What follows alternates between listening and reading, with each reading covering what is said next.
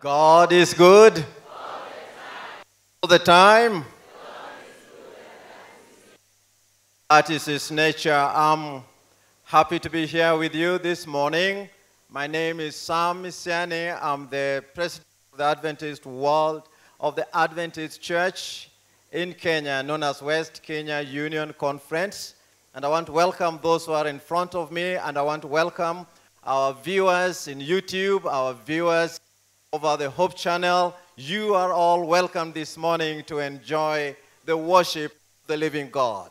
This is our worship time, and this is how we do it this morning. You are a part of us this morning. And I'm here to introduce our who is going to be other than the guest whom you have been watching over Hope Channel. His name is Dr. Willie Va and his wife, uh, Elaine, whom we shall introduce later time. And I want to talk to you, if you're watching over, over Hope Channel or in YouTube, the best to come. We shall have another session this evening. So for now, I want to bring to you Dr. Oliver, who is an ordained minister in the Seventh-day Adventist Church. He's a highly educated person. He holds a PhD in family sociology, a master's degree in pastoral counseling, and another, master's degree in sociology, and a BA in theology. He's an adjunct professor at Andrews University, and is also teaching uh, professor at uh, our university right here in Kenya, known as Afri Adventist University of Africa. Well, what I love about this couple is that they are very, very dedicated to the family. They're my friends. They have trained me in family life presentations, and it's my privilege to introduce them to you here again. Uh, Dr. Willie and his wife Elaine conducts marriage conferences, retreats, and relationship seminars literally around the world. I don't know any part of the world where they have not been conducting family life uh, related matters. They are founders of From This Day Forward marriage conferences, Journey Toward Intimacy marriage conferences, and they are also authors in various magazines. But of late, they have produced a book, they published a book titled Real Family Talk. They're giving answers to questions about, guess what? Answers about marriage, about love, and about sex. And I believe that many of you would love to hear more about this as has been introduced. They're also editors of the annual Family Ministries Plan Book and host marriage and family strengthening program on Hope TV and the three ABN, these are television networks within the Seventh-day Adventist Church. Willie and Elaine Oliver have been married for 33 years. Now, if I were you, I would be saying amen. Whether you are in your sitting room or on YouTube, wherever you are, you ought to say amen to a people married for years. I've only done 30 years. But that's an evidence that marriage does work. Uh, they are parents of two young adults, Jessica and Julian, and in their spare time, they enjoy taking long walks, beach vacations. I hope they'll visit Mombasa and enjoy our lovely beaches. But they're also enjoying gardening, and, and this is for the hotels in Kisumu. Listen, they enjoy exotic cuisines and spending time with family and friends. Ladies and gentlemen, brothers and sisters, join me now in welcoming Dr. Willie Oliver to speak to us this morning in Jesus' name. Welcome, sir. Thank you. Thank you very much, Dr. Michelle. Jambo, jambo. Habari, habari. Sabatum jama. Happy Sabbath. Happy day. It's good to be with you in Kisumu, Kenya, close to Lake Victoria. We bring greetings today all the way from Washington, D.C., and the world headquarters of the Seventh day Adventist Church. It is certainly a pleasure for Elaine and me to be here with you. We love Kenya. We've been here many, many times. Uh, we certainly love the people of Kenya. We, we love the food of Kenya. I'm looking for some sukuma wiki and some uh, ugali. but it's always good to be with the people of God. For me, I usually say there's no better place to be than with God's people on God's day, in God's house, studying from God's Word. Amen. Today is no different. In fact, Elaine and I look forward to speaking all this week, and we're going to be talking on healthy family relationships. We're encouraging you to come out. If you're not here right now, but you're hearing this program, and we're happy that those of you at home are watching, please come out. If you're in the Kisumu area and you can get to the Victory Seventh day Adventist Church, please do come out and have a wonderful time. We believe that when you have strong marriages, you're more likely to have strong families. When we have strong families, we're more likely to have a strong community, a strong country, a strong world. And we can begin right here in Kisumu, Kenya. Let's begin this way. Elaine and I are from the United States, and we're really from New York City, even though we live in the Washington, D.C. area. As a young pastor, I started pastoring in New York City. New York City is one of the largest, richest, most glamorous cities in the world. Despite being one of the most, one of the largest cities in the world, with millions of people, it can be one of the loneliest cities in the world. Despite being one of the richest cities in the world, it has some of the poorest people in the world, believe it or not.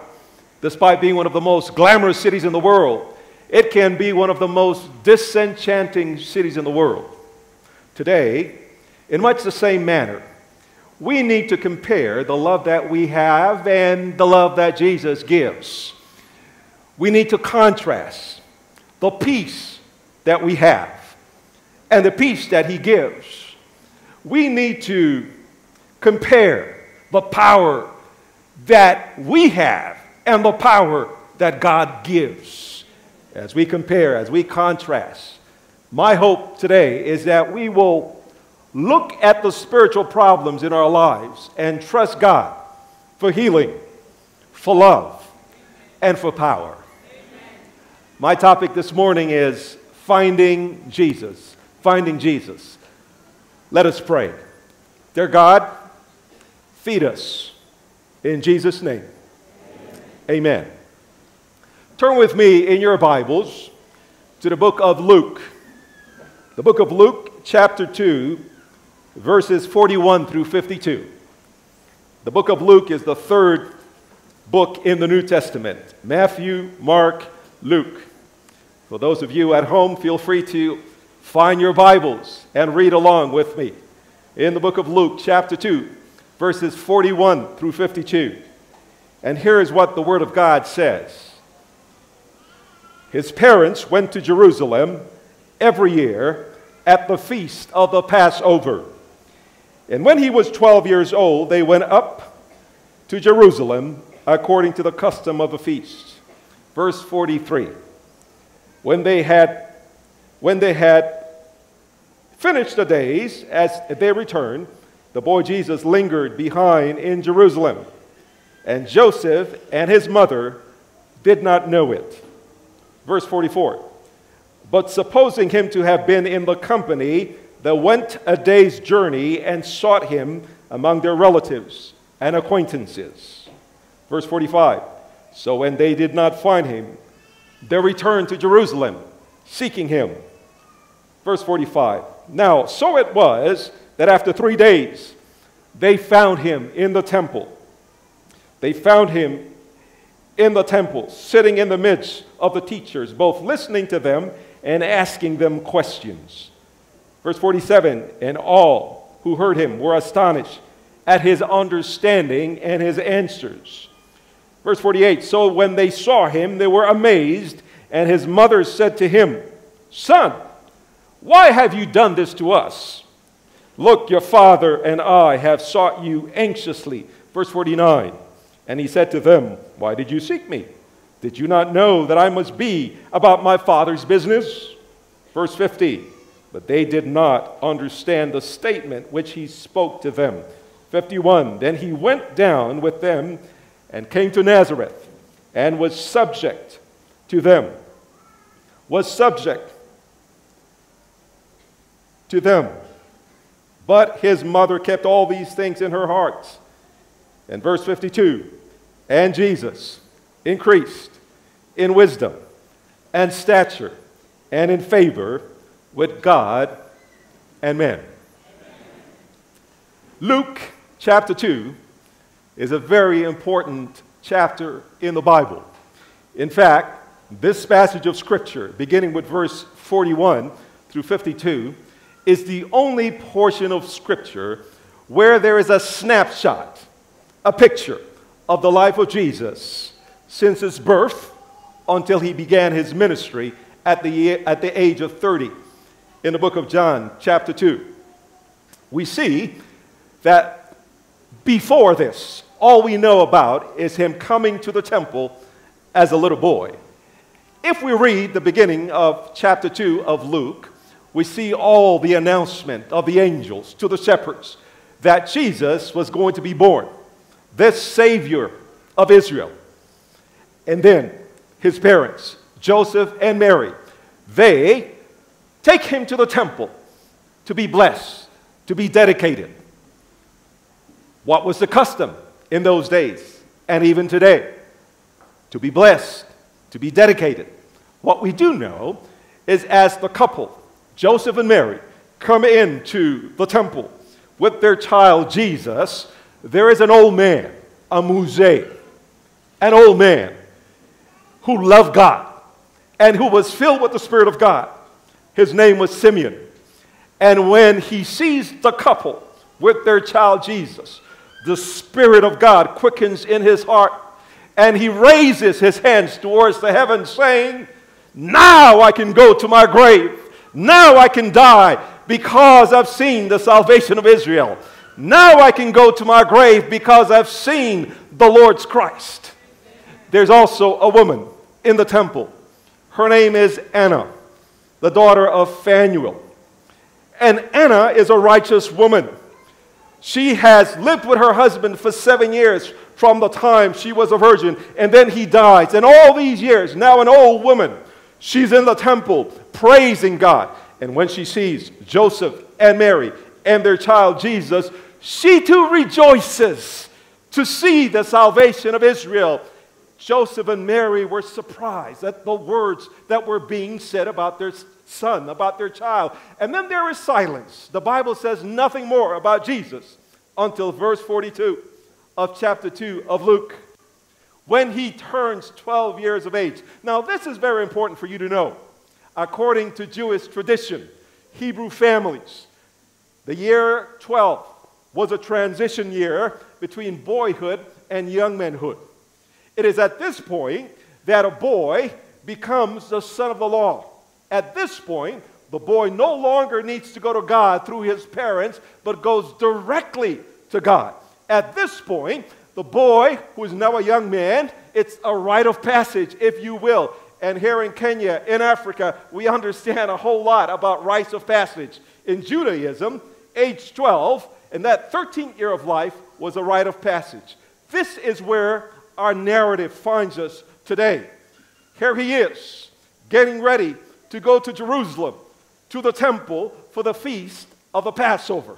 You must know, brothers and sisters, and friends at home, that in Jewish tradition, every Jewish man every faithful Jewish man went to Jerusalem for the feast of the Passover. But more than that, the men went to actually three feasts the Feast of Pentecost, the Feast of Tabernacle, and the Passover, the biggest of all the festivals.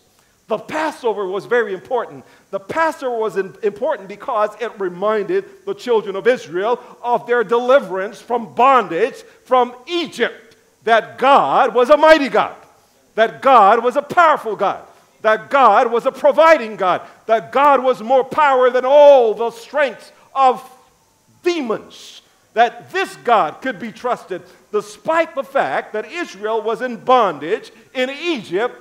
This God, this great God, had taken the children of Israel out of Egypt, out of bondage, through the Red Sea, through, through the desert, with manna from heaven, with water from the rock, with a, with a cloud by day to protect them from the heat of the sun, with a cloud of fire to protect them from the cold of the evening. That's why the Passover was so important. And Jesus, it's his privilege at age 12 to go to Jerusalem, not as a child, but as a young man, as someone who is being faithful to the traditions of God's word, to praise God, to honor God, to rejoice in his salvation, to rejoice in the deliverance of Israel. And here he is, excited. Have you ever had to travel someplace? Perhaps to Nairobi, perhaps to Zimbabwe, perhaps to South Africa.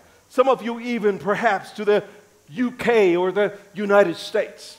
Every time Elaine and I are going to travel someplace, even though, as Dr. Misiani says, we have been all over the world, we're always excited. This is Elaine's first trip to Kisumu, and she was excited. Can you imagine the anticipation of going to a place you've never been? Jesus was excited. We believe that he had been to Jerusalem. Of course, we see him as a baby in Jerusalem with his parents. So this was not the first time he was going to Jerusalem, but this was the first time he was going to Jerusalem on his own as a son of the law, directly connected to God. And so they traveled to Jerusalem with their parents, with his parents, with their relatives, with their friends. And in the distance, as they came closer and closer to Jerusalem, they can see the temple, the temple of Solomon, the great temple, the beautiful temple, the center of worship of God. They were happy. They were happy to know that there all faithful Jews came to worship the God of heaven, the worship of Abraham, of the God of Abraham, Isaac, and Jacob, as you say here. So he was excited. Now, the Passover is seven days. And very quickly, they get to the Passover and imagine coming to the Passover. Jews from all over the then known world came together to worship God, Yahweh. They came, and as they came, just like when you go someplace and you see friends, they were excited. Mary, the mother of Jesus, sees her friend in the distance, Elizabeth, and they hug and they do the rituals. Uh, Hannah and Ruth and Jochebed, and all these friends are gathering, and the men are also excited. The Muses are excited. So Joseph sees his friends in the distance, Joshua, and they hug and they talk and they're excited that God has given them one more year of life to come to Jerusalem to feast in the Passover, to thank God, to be grateful for his deliverance. But before they know it, the days are gone by quickly. Seven days. Seven days. It's been wonderful, but now it's time to go back home. Joseph and Mary were so anxious to get back home. They were so taken up with going back to their cares in Nazareth, to cooking the ugali and the sukuma wiki, to uh, working in the carpenter shop, to uh, doing whatever they did, cleaning and, and, and cooking and all these things that they left Jerusalem with their friends, with their neighbors, back home to Jerusalem and didn't realize that Jesus was not with them. When we look at the narrative in Scripture, and when we look at other corroborating literature of wisdom of those days, they tell us that Joseph and Mary perhaps had traveled for a day and were just getting to the outskirts of Jericho on their way back home when the sun began to set. As the sun begins to set, families begin to gather. The children are traveling in the middle, the women are traveling in, in the front, the men are traveling in the back. But now it's getting dark. Now it's time to go to bed. Now it's time for the families to get together. So Joseph goes looking for Mary. And Mary goes looking for Joseph. And then it happens. What happens? All of a sudden, Joseph sees Mary and he notices something strange that Jesus is not with her, that Jesus is someplace else. So, a little concerned, he raises his voice and he says, Mary, where is Jesus? Now, Mary is a little startled herself, and all of a sudden she realizes that Jesus is not with Joseph. And she also yells back, Joseph, where is Jesus? You know how it is in our homes. This is a week about family relationships. And one of the biggest issues in family relationships is misunderstandings. I know you have no misunderstandings in Kisumu. I know you have no misunderstandings in Kenya. I know you have no misunderstandings in Africa. Huh? It is better here. All you have to do is go talk to the pastors, and it's going to be better. Joseph and Mary realized that blaming each other, blaming each other is not going to help. And so immediately, instead of fighting, instead of arguing, and most of our arguments are about silly things. Tell the truth, somebody. Most of the arguments are about silly things. And most times, it's about me being right or you being right. I don't know how it is in your home, but in my home, I'm always right. Now, that's supposed to be a joke. You know, I'm sure that in your home, you're always right.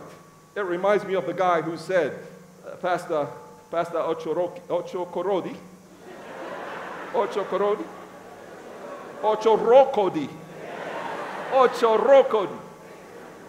Reminds me of the pastor, of the guy, Pastor Ocho Rocodi, who said, I knew I married Miss Wright. I just didn't know her, la- her first name was always. I knew I married Miss Wright. I just didn't know her first name was always. Well, women can say the same thing. I know I married Mr. Wright. I just didn't know his first name was always. And it's interesting here in, in, in, in Kenya that you guys give names based on when people were born. You know, I, I know some Sundays and some Saturdays or Sabbaths, and then, you know, if, if you're born in a certain time of the day, you have a name uh, like Odhiambo if you're born in the afternoon or something like that. Yes? Yes? Okay, okay, okay. Karibu, karibu. so what happens? Here they are, and realize that there is no point in this argument. What's important is to solve the issue. What is the issue? A lost Jesus. So together they begin to look for Jesus. They begin to look for Jesus. They look here, they look there, they look among the children, and he is not there. They look among the women, and he is not there. They look among the men, and he's not there. They look among the donkeys, and he is not there. He's nowhere. And for the first time in the life of Jesus, his parents, Joseph and Mary, the closest people to Jesus on earth, have lost him. Immediately, their minds go to a place. What place? Their minds go to the place when he was born, when Herod the king, remember him? when he wanted to find out where Messiah was. He wanted to find out where Jesus was because he wanted to send someone to kill him because he wanted to be the only king. And now their hearts are trembling, their minds are thinking of perhaps Herod the king. Finally, caught up with them on their way from Jerusalem, one of his spies snatched Jesus from the road. So they're heavy hearted and they go to bed with a heavy heart for the first time. Pastor Ayayo, for the first time with a lost Jesus. And then it happens early in the morning as the sun is just coming up. Joseph and Mary, the Bible tells us, they get up and they go back to Jerusalem, the last place where they saw Jesus, because they must find Jesus. Brothers and sisters, friends, on the television, I want you to know today that our world is a crazy world. Our world is in disaster. All kinds of crazy things are happening. And even in some places where there was no craziness, now there is craziness. And we're not sure what's going to happen. But there is something we need to be sure of for our families, for our relationships, there is something we need to be sure of, and that is if we've lost Jesus, we must find him. Joseph and Mary had lost Jesus and they were not satisfied to live with a lost Jesus. They get up that morning, go back to Jerusalem because in their hearts, in their desires, they must find Jesus. At the end of the, the day, as they're getting close to Jerusalem, they can see the dome of the temple shining in the sunlight. And then all of a sudden, by the time they get to the temple, it's dark, it's late, and it's, they can't see anything. So, for a second day, for a second day, Joseph and Mary go to sleep with a lost Jesus. But thank God. Thank God. Thank God for the third day. Thank God for another opportunity. Thank God for optimism. Thank God for faith. Thank God for determination. For if we've lost Jesus, to find him, we must be determined. If we're going to find him, we need to look for him. The Bible says, You will find me when you look for me with all of your hearts. You can't look for Jesus with just a piece of your heart. You can't look for Jesus with just a tiny fraction of your heart. If you want Jesus on your side, and to have Jesus is to have life, to have Jesus is to have joy, to have Jesus is to have peace. To have Jesus is to have blessings. We must look for him until we find him. So that third day, Joseph and Mary, with new dedication, new determination, begin to look for Jesus. If you've ever been to Jerusalem, and I know some of you have been, the temple where the temple was, it is still there. There's another temple there now. There's a different temple, though, but the walls are still there. In fact, the Jews go there to the wall, to the western wall, to pray. And often, if you go out there, you see them rocking and praying. And there's a little room on the side of the western wall.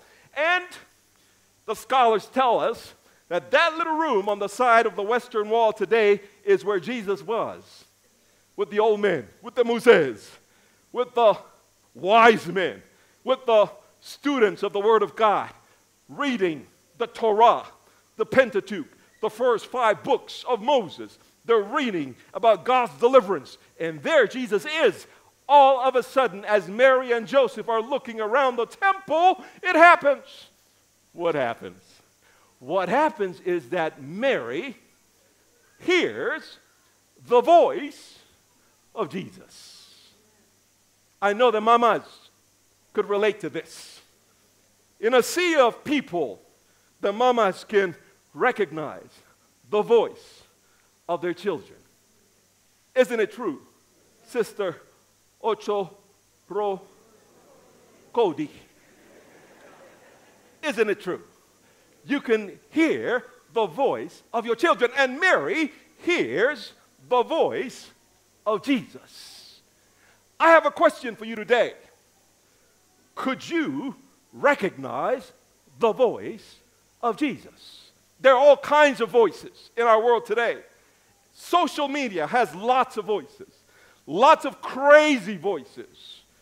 The media in general, crazy voices, all kinds of truths.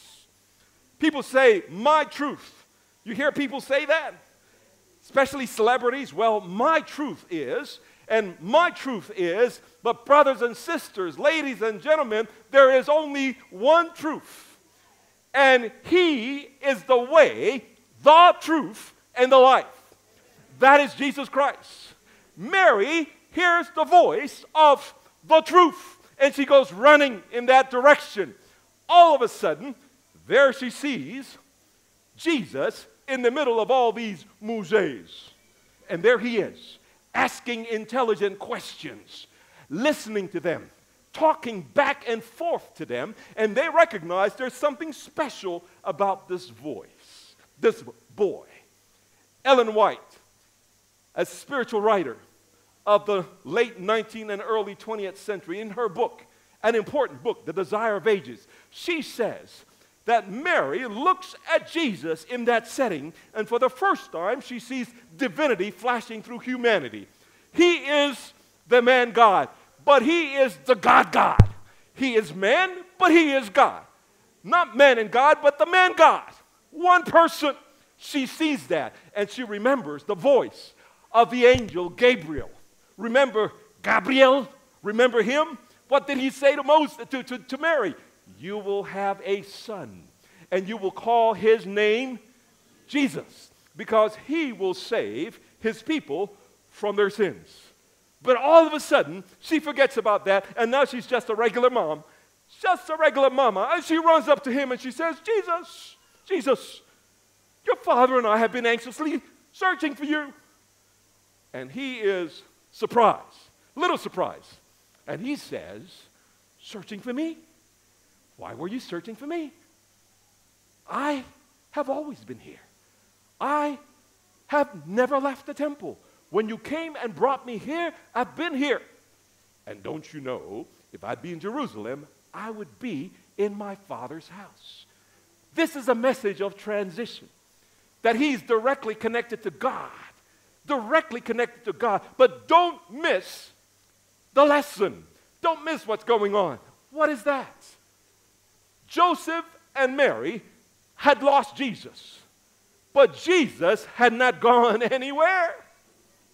Joseph and Mary lost Jesus when they were anxious about getting back to their daily lives. Joseph and Mary lost Jesus when they were thinking about getting back to the daily grind of cooking ugali and sukuma wiki and working on the carpenter's desk. The same thing happens to us, even as the people of God. We say we know God. We say we love God. As Seventh day Adventists, we believe we're the closest people to Jesus on earth. For those of you who are watching on television and are not Adventists, don't be worried. You could be one too. You could join this, and then you might feel that you're the closest people to Jesus on earth. But get this some of us Adventists, some of us who eat the right food and do the right thing, and we say we worship on the right day, we too have lost Jesus. Like Joseph and Mary, the closest people to Jesus on earth, we have lost him. We have lost him sometimes in the middle of church. We have lost him in the Sabbath school. We have lost him giving Bible studies. We've lost him singing in the choir. We say we're the closest people to Jesus on earth. Some of us are even vegetarians. I know there's not a whole lot of vegetarians in Kenya. That's okay. I hear you have uh, a lake very close and, and, and you, you eat swimming vegetables. That's what I hear. Swimming vegetables. I understand. Some of you some other kinds of food as well. It's okay. It's okay. I'm, I'm not condemning any of you. I'm not, I'm not chiding any of you. I'm simply saying some of us are eating the right food. We eat the clean foods. We don't eat the, the other kind of foods. Well, we have studied Leviticus 11. We know all about it. We know all of that, and we have lost him. Brothers and sisters, Mary and Joseph lost Jesus. But they didn't stay on the outskirts of Jericho without Jesus. They got up. They went back to Jerusalem, the last place where they saw Jesus, and there they found Jesus. Brothers and sisters, today, if we've lost Jesus, we need to find him. Like the three Hebrew boys, the three Hebrew boys who were asked to choose between God or bowing down to the idol of Nebuchadnezzar, they chose to worship God. They were thrown into the fiery furnace, but in the fiery furnace they were with God and they were safe because they had Jesus. We must be like them and not be afraid of anyone, not be afraid of anything. We need to go straight to Jesus. We need to know that to be with Jesus is the better choice to make. We need to know that when we have Jesus, we have peace and joy and blessings and contentment and salvation. Today, like Joseph and Mary, we need to get up and go back to that place. Now, just before I close, I want to share an illustration with you. For those of you who are scientists and those of you who are all into quantitative analysis and into causal relationships, I'm not going to make it too difficult. Follow me, it's very simple. It's like this. When we do, uh, when we do quantitative analysis, there's always an independent variable and a dependent one. All that means is that if one appears, the other one is likely to appear. Follow me closely. Let me make it even simpler. We will call the independent variable rain. If it rains, and the dependent variable, the street, will be wet. Are you with me? Does that make sense? It's scientific logic, but you need to respond to me. Where I come from, I need my audiences to talk back to me so I know they're with me. Are you with me? Yes. I'm going to say, GP, are you with me? Yes. You know what GP means, right? God's property. God's property. When I say, GP, are you with me? I want you to say, oh yeah. Let's try. GP, are you with me? Oh, yeah. There you go. I love that sound. GP, are you with me? We're having fun. We're going no way. I'm almost done. So here's how it goes. Here's how it goes. If it rains, the street is wet. Every single time it rains, the street is wet. Are you with me? GP, are you with me? There you go. There you go. I love it. I love it. Okay, so let's do this so that you can be involved with me. The half of this auditorium is going to be if it rains, and the other half is going to be the street will be wet. Are you with me? Okay, when I say if it rains, I want all of you on this half to say if A, and then when I say the street will be wet, you're, no, I'm, I'm going to say if A, you're going to say if it rains, and I'm going to say then B, you're going to say the street will be wet. Are you with me? One more time. When I say if A, dependent, independent variable, you're going to say if it rains, and then I'm going to say then B, and you're going to say the street will be wet. Let's try. If A you're supposed to say, if it rains. Let's try it again. If A, then B. Yeah, yeah. The people in the back, I want you to be a part of this as well. GP, are you with me? There you go. If A, then B. Yes, it's scientific logic. Every single time it rains, the street is wet. Yes? GP, are you with me? Every time it rains, the street is wet unless there's something between the rain and the street. Are you with me?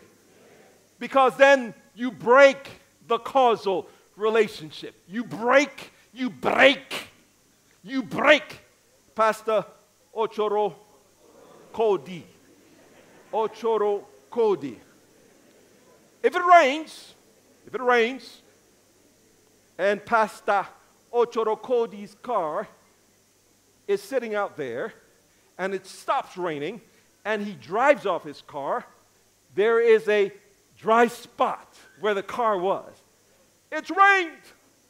The street is supposed to be wet, but it's not wet. Why is it not wet?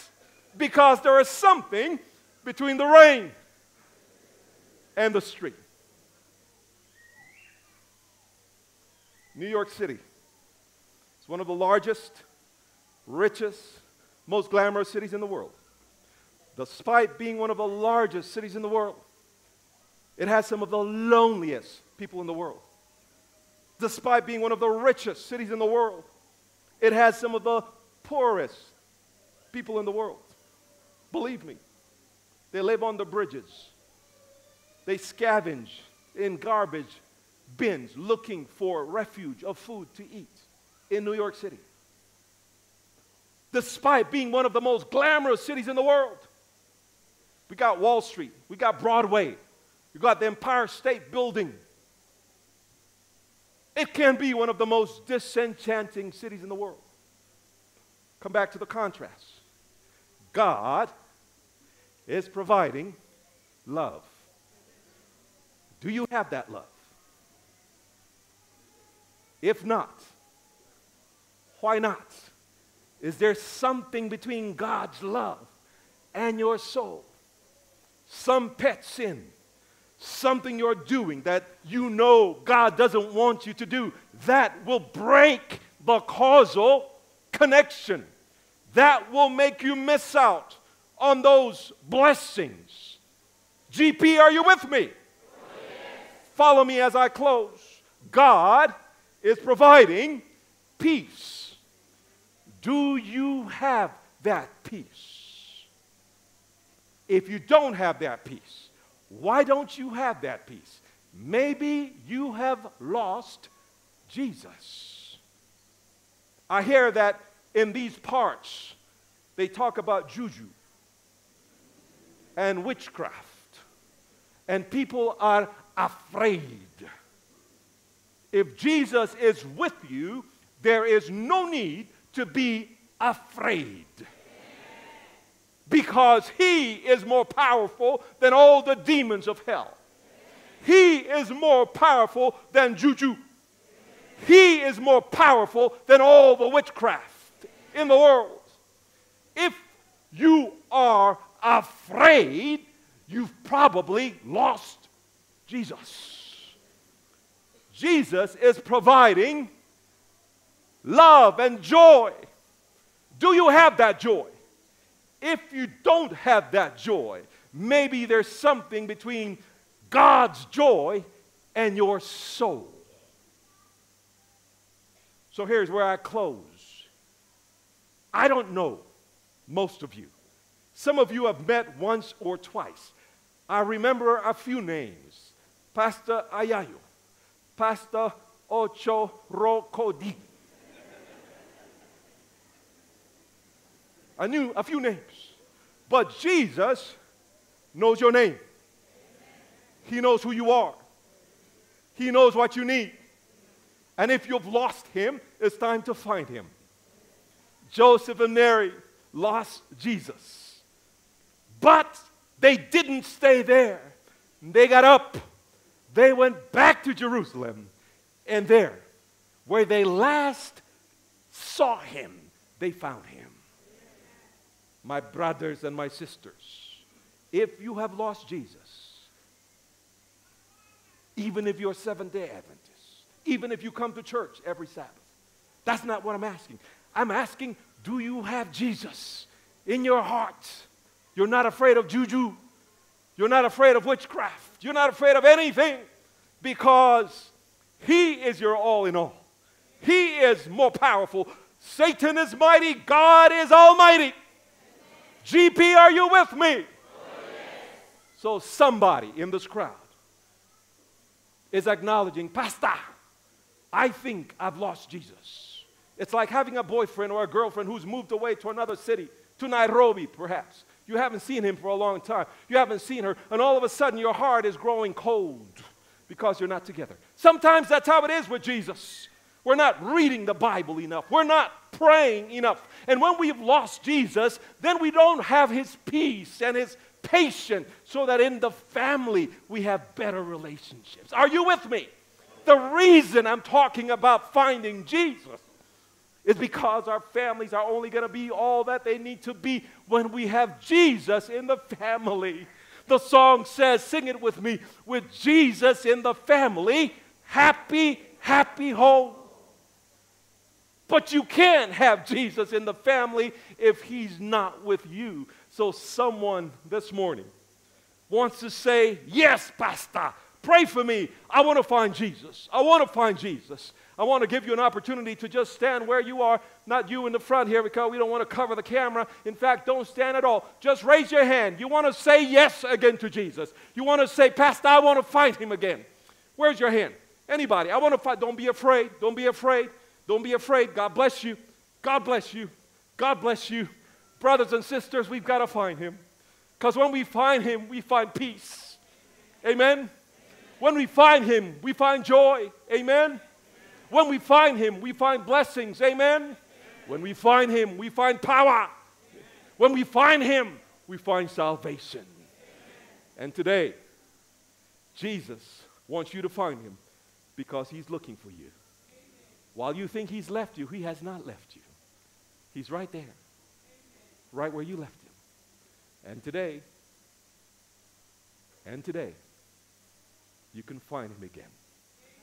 And as you find him, may you find the peace that passes understanding. May you find the patience and the kindness that you will need in your families to be all that God wants you to be. I am praying. Father God, Thank you for the visitation of your Spirit. Thank you for those who've come. Thank you for those who are listening here in this venue and those who are listening at home.